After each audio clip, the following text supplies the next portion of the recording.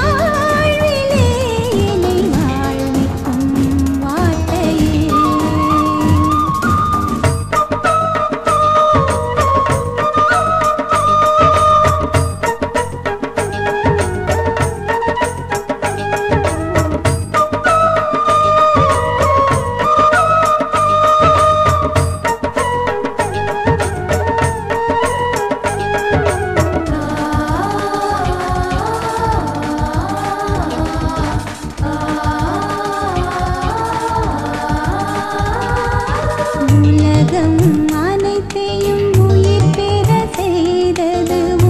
வல்ல வார்த்தையே. உணர்ந்த வாழ்வையும் ஒரு செய்வதுவும் இறை வார்த்தையே.